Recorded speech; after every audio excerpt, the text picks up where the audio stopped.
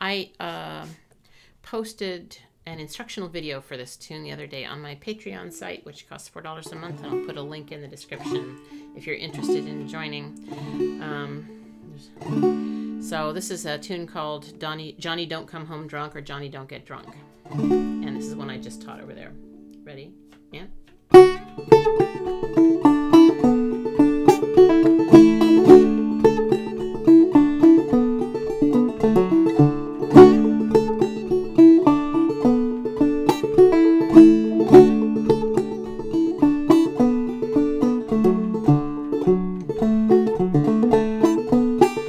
Thank you.